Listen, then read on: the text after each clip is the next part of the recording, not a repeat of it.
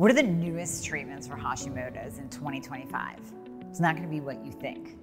We're going to talk about GLPs, tirzepatide, semaglutide.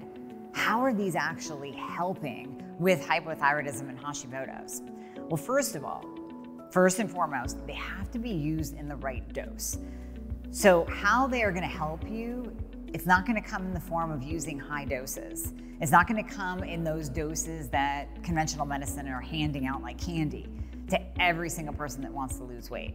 I've lovingly called tirzepatide and semaglutide the Beverly Hills soccer mom drug of choice for weight loss because when they first came out, they were used by every celebrity out there to lose weight. But the problem is, they were losing facial fat, they were getting Mounjaro face, and they were losing muscle at the same time. In order to help our thyroid, we want to use these the right way in a microdose. And microdose for you might not be the same as the microdose for me. We have to figure that out together. But a microdose of GLPs is a small enough dose where you don't even realize that you're taking it. You have zero side effects. And here's what it's doing. Number one, it's reducing full body inflammation. Anytime we can reduce inflammation, your thyroid is going to work better. But the other thing, when we reduce inflammation, we reduce antibodies. So if you are suffering with Hashimoto's, the autoimmune form of hypothyroidism, a GLP can come in and reduce those antibodies as well, pushing you into remission. In addition, we are improving insulin resistance. Yes, even if you're using a microdose, you're not using those high, high doses. We are still seeing an improvement in insulin sensitivity. Now, when we are insulin resistant, that means that we are in an inflamed state. I always say the fastest way to age, keep your insulin high. Keep eating those carbohydrate and sugary foods. But the other issue is when you have a low and slow thyroid, you can be insulin resistant even when you're eating perfectly, even when you're removing the processed foods and the sugar. You can still be resistant to insulin signaling. And that is number one, going to cause you to gain weight because you're going to be storing body fat.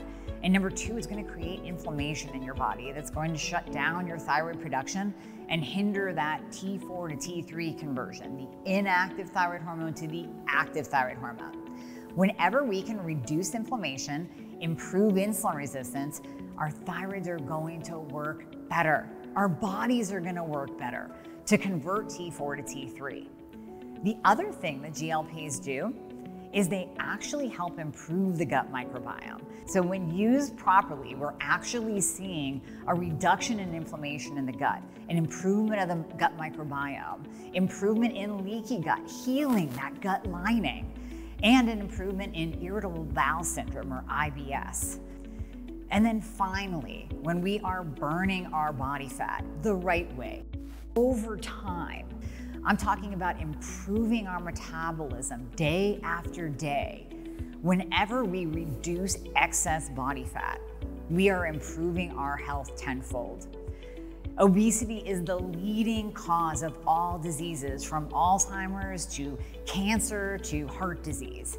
So, when we're carrying around excess body fat, there's no way possible that our thyroid can work. Well, you're saying, well, wait a minute, I can't lose the weight. Right, we want to improve your thyroid function. We can use GLPs to do that, but we can also use GLPs in conjunction with the right thyroid treatment, in conjunction with optimizing your thyroid to actually help you lose weight overall the right way, the healthy way, slowly over time. So we're reducing inflammation, we're improving your gut, we're improving your insulin sensitivity. We're helping your thyroid actually work better. And what we have seen over time, and I'm one of them, is that thyroid patients can actually reduce their dose of thyroid medication.